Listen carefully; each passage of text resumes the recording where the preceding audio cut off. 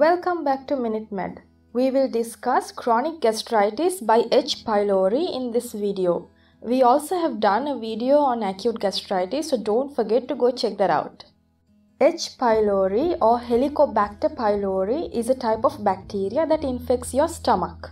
H. pylori infection is the leading cause of chronic gastritis in the world. Statistically speaking, at least half of the world's population is infected with H. pylori, and even in developed countries, the prevalence is close to 28%.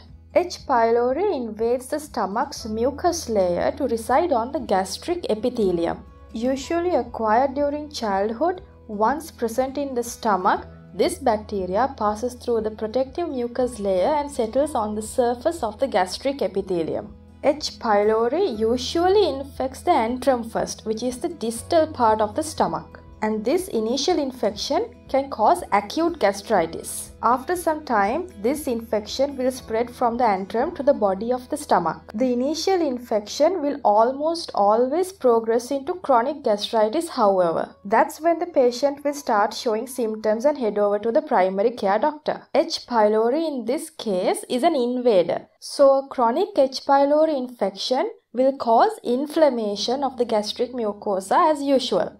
So you will find prominent number of neutrophil infiltrates in these inflamed areas. So to fight this infection, the stomach will try more and more to fight it by recruiting more WBCs or white blood cells. Eventually, the stomach will get burnt out fighting this infection, and normal acid secreting glands in the stomach will begin to disappear. This will lead to mucosal atrophy. Atrophy means cells shrinking in size. So, when these cells in these glands start to shrink or begin to atrophy, their ability to secrete hormones and acid will also decrease. That's when this condition is called chronic atrophic gastritis. Chronic inflammation from H. pylori can lead to intestinal metaplasia, which means that the normal gastric columnar epithelium will develop goblet cells hyperplasia to withstand all that punishment, right? This is kind of a defense wall to mimic the intestinal epithelium. So in this case, we can see mucus-filled goblet cells in the stomach. That's why Chronic gastritis is also called metaplastic atrophic gastritis. Over time, these cells will lose control of this transformation process, leading to dysplasia and ultimately cancer. So, in the case of chronic gastritis, there is a high risk of cancer as well. And that is how chronic gastritis can progress into the worst case scenario.